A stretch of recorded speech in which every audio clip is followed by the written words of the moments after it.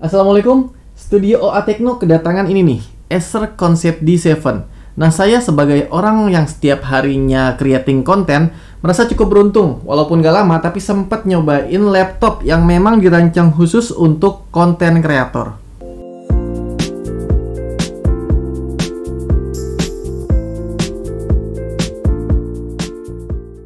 Acer meminjamkan konsep D7 ini karena ingin tahu bagaimana pendapat saya terhadap laptop premium yang spesifik diciptakan untuk konten kreator.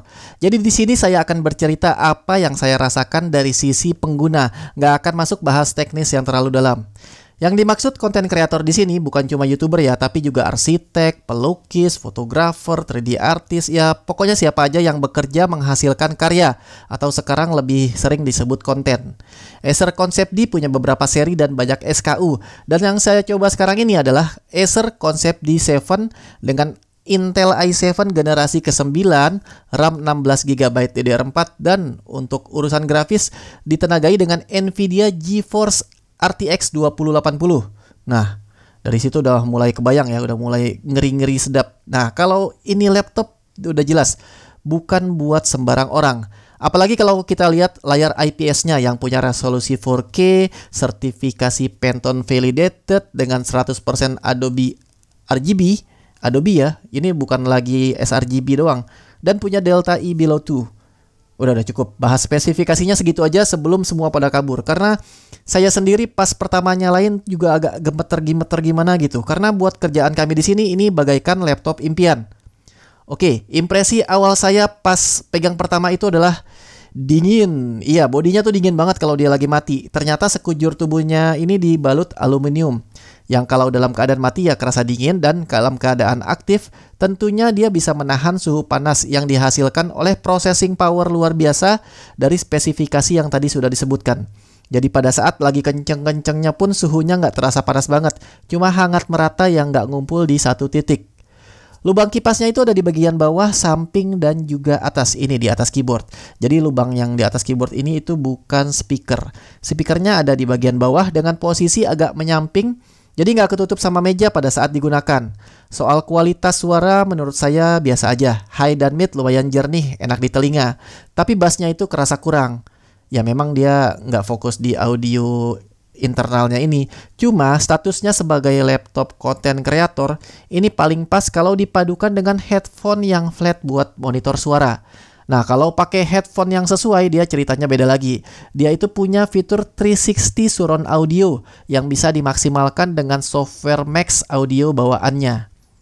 Oke, Acer mau saya nyoba ini buat creating konten, tapi kalau cuma tes rendering, Jujur aja saya ngerasa kurang seru karena lihat spek aja udah jelas ini bakalan ngebut banget buat editing dan rendering. Ditambah penyimpanan 512 GB-nya itu udah SSD. Ini lebih dari cukup buat edit video cuma untuk YouTube aja. Jadi biar seru, konsep D7 ini saya tes buat ngejalanin aplikasi yang selama ini saya pengen tapi nggak bisa karena laptop saya nggak kuat.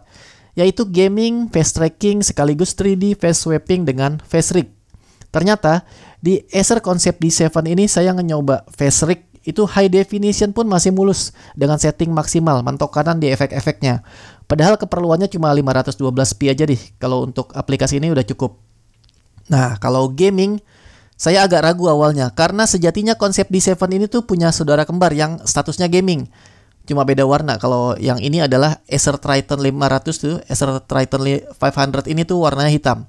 Bedanya kalau Triton 500 difokuskan ke gaming power, konsep D7 yang putih ini tenaganya agak ditahan supaya bisa lebih fokus ke kestabilan suhu dan menjaga suara bising dari kipas.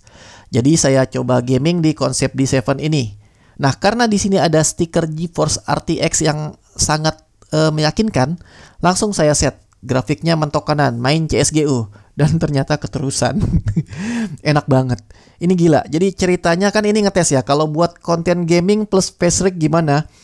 Tapi ternyata memang harga dan spek nggak bohong. Ini di Full HD udah mulus banget, padahal mentok kanan. Kalau di 4K bisa juga, tapi nggak mentok kanan grafiknya kalau mau mulus. Berhubung video yang saya upload masih Full HD, jadi tesnya di 1080p aja dan hasilnya luar biasa. Setelah beberapa jam ngetes, saya menyimpulkan kalau misalkan hanya boleh pilih satu faktor yang bikin ini laptop keren, itu apa? bukan prosesor atau grafik cardnya, tapi menurut saya layar.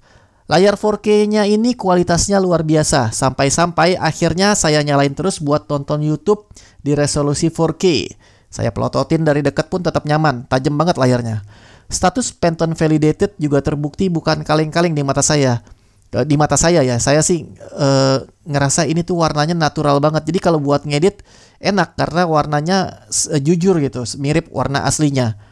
Udah gitu dia bisa di set mau Adobe RGB mode-nya ini aktif atau enggak. Kan kalau mau ngegame atau nonton kita suka yang warnanya lebih uh, lebih uh, apa namanya lebih enak di mata lah lebih keluar gitu. Sedangkan kalau mau ngedit kita senangnya yang natural masih banyak banget sebenarnya yang bisa dieksplor di Acer Concept D7 ini. Apalagi memang peruntukannya kebetulan pas banget di saya sebagai konten kreator. Yang pasti, video ini belum membahas semua fitur-fiturnya karena butuh beberapa minggu kayaknya buat explore laptop premium seperti ini.